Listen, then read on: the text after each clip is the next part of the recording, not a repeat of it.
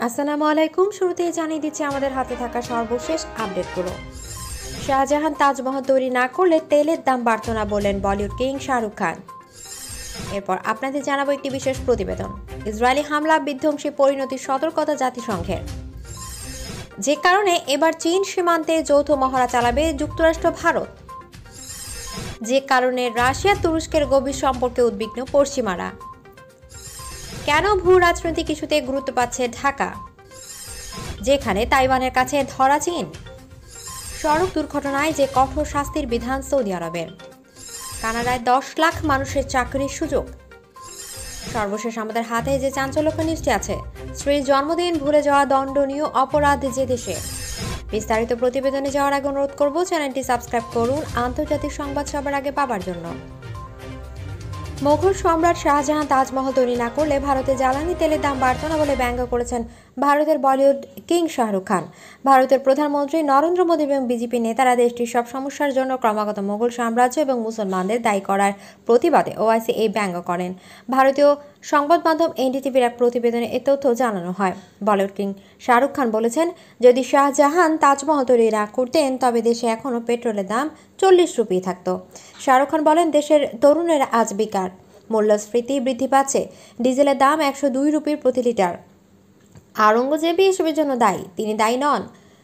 সম্প্রতি আকবর দায়ী বেকারত্বের জন্য এবং এখন পেট্রোলের দাম একশো চার থেকে একশো পনেরো রুপি প্রতি লিটার। এর জন্য তারা তাজমহল নির্মাণকে দায়ী করবেন।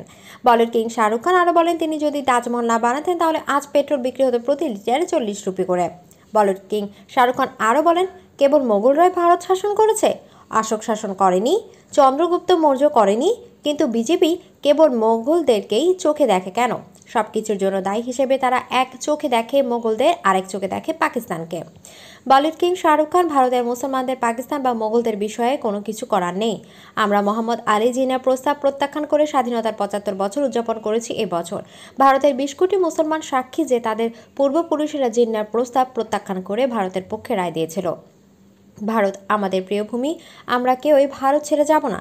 আপনারা যে স্লোগান দেন না কেন, আমরা এখানে আছি এবং এখানে থাকব, মরব।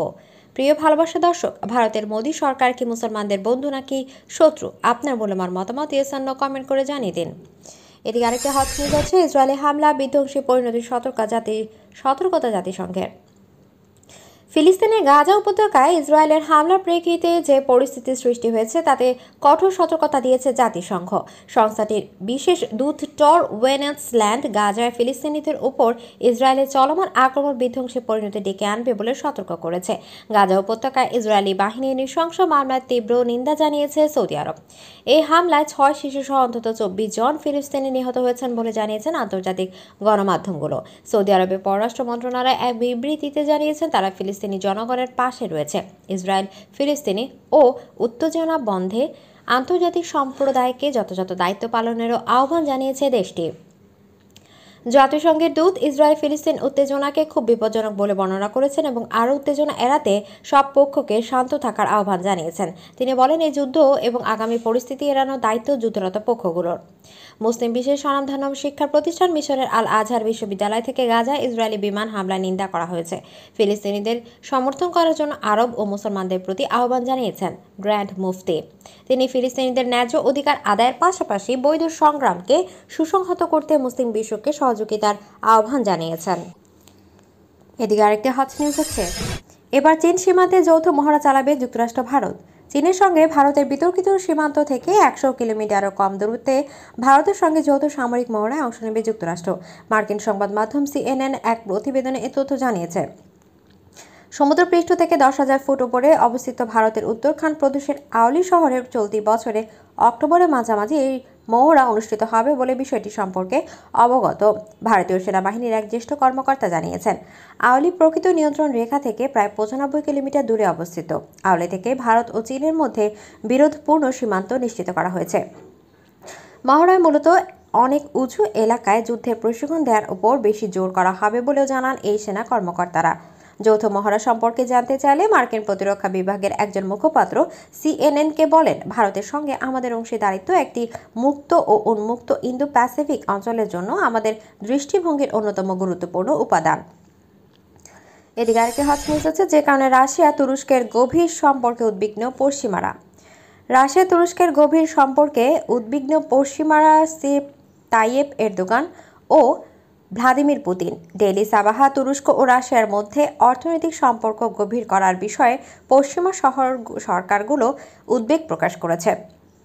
রাশিয়াকে নিষেধাজ্ঞা এড়াতে সাহায্য করলে তুরস্ককে ঝুঁকির মধ্যে পড়তে হতে পারে বলেও সতর্ক করে দিয়েছে তারা।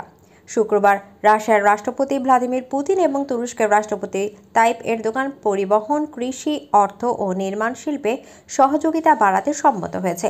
এরপরই ছয় পশ্চিমা কর্মকর্তা ফিনান্সিয়াল টাইমসকে জানিয়েছেন, তারা চুক্তির বিষয়ে উদ্বিগ্ন।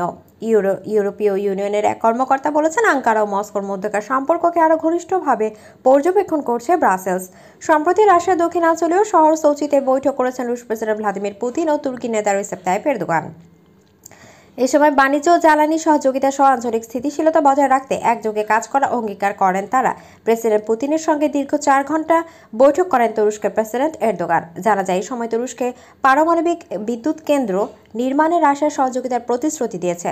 রাশিয়া এমন ভূমিকাকে স্বাগত জানিয়েছেন এরদোগান। এছাড়া দুই দেশের মধ্যে একশো বিলিয়ন ডলারের দ্বিপাক্ষিক বাণিজ্যের লক্ষ্য নির্ধারণ সহ সন্ত্রাস দমন এবং লিবিয়া ও সিরিয়া শান্তি প্রতিষ্ঠার ক্ষেত্রেও সহযোগিতার ব্যাপারে একমত হয়েছেন দুই নেতা।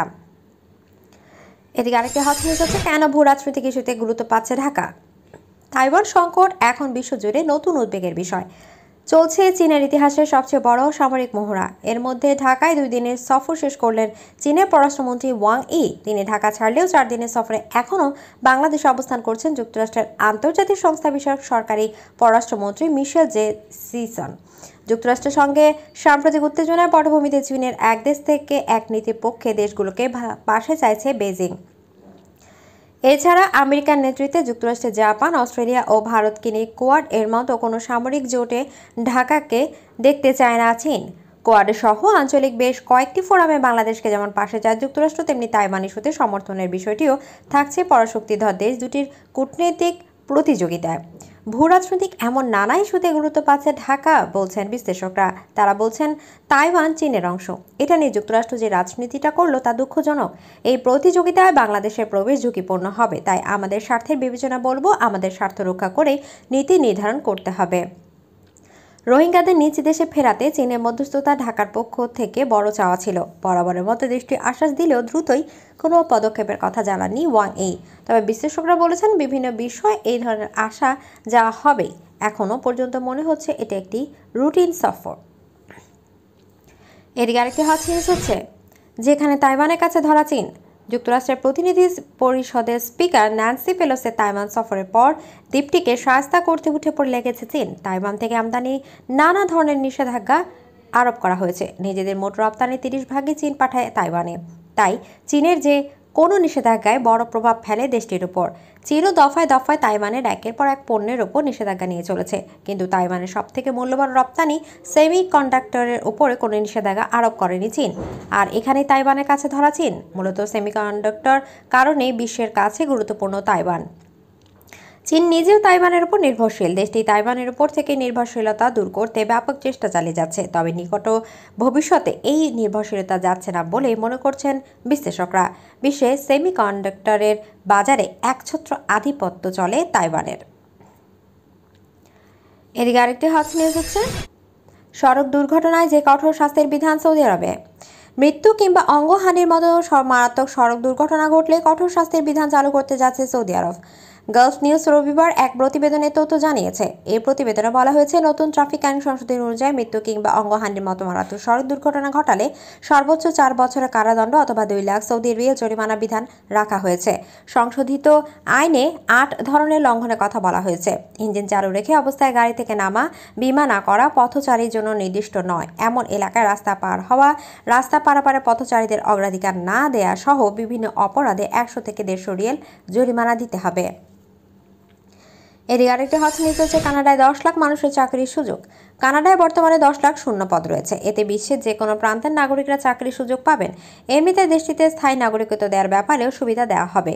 লোক কম, কাজ বেশি। এক কথা, কানাডার অবস্থা এখন এটাই। যারা কাজ করেছিলেন, তার আগামী দিনে অবসর নেবেন। নতুনেরা চাকরি করতে রাজি নন, সব মিলিয়ে কানাডা কাজের লোকের বড়ই অভাব। দু হাজার বাইশের শ্রম শক্তি সমীক্ষায় দেখা যাচ্ছে, গত বছরের মে মাসের তুলনায় এবছর শূন্য পদের সংখ্যা বেড়েছে তিন লাখের বেশি। এই পরিস্থিতিতে এবছরই কানাডায় চার লাখের বেশি মানুষকে সে দেশে স্থায়ী নাগরিকত্ব প্রদান করবে। আগামী বছর অর্থাৎ দুই হাজার চব্বিশে তা বেড়ে হবে সাড়ে চার লাখ। তাই এ সময় কানাডায় নাগরিকত্ব নিতে চাওয়া মানুষের কাছে সুবর্ণ সুযোগ হতে পারে বলে মনে করা হচ্ছে। বিভিন্ন পেশার লোকেদের দরকার কানাডায়, যেমন পরিবহন, অর্থ, বিমা থেকে বৈজ্ঞানিক গবেষণা, প্রযুক্তি নির্ভর কাজের পাশাপাশি রিয়েল এস্টেট ক্ষেত্রেও বিপুল শূন্যপদ রয়েছে এবং আগামী দিনে তা আরও বাড়বে। এদিকে আরেকটি হট নিউজ হচ্ছে, স্ত্রীর জন্মদিন ভুলে যাওয়া দণ্ডনীয় অপরাধ যে দেশে। বিশ্বের এক এক দেশের আইন ও রীতিনীতিতে পার্থক্য আছে। সমাজ যাতে সুষ্ঠুভাবে চলতে পারে, তা নিশ্চিত করতে চালু হয় নিয়ম, নীতি ও আইন কানুন। দেশে ভেদে তাই আইনের পার্থক্য দেখা যায়। কোথাও যে কাজ সাধারণ, একই কাজ অন্য দেশে অপরাধ। যেমন সুইডেনের সরকারের অনুমোদিত, অনুমতি ব্যতীত ঘরে রং করা নিষিদ্ধ। আবার সুইজারল্যান্ডে রাত দশটার পর টয়লেটে ফ্ল্যাশ করা অপরাধ হিসেবে বিবেচিত। যুক্তরাষ্ট্রের ওহিওতে হান্টিং লাইসেন্স না থাকলে ঘরের ইঁদুর মারাও বেআইনি। ঠিক একইভাবে এমন একটি দেশ আছে যেখানে স্ত্রীর জন্মদিন ভুলে যাওয়া দণ্ডনীয় অপরাধ। এ কারণে সে দেশের অনেক পুরুষকে জেলে যেতে হয়। প্রশান্ত মহাসাগরের দ্বীপরাষ্ট্র পলিনেশিয়ান এলাকায় সামোয়া নামে একটি সুন্দর দ্বীপ আছে। সেখানে চালু আছে এই আইন। স্বামী যদি স্ত্রী জন্মদিন ভুলে যান, তাহলে তাকে যেতে হয় জেলে।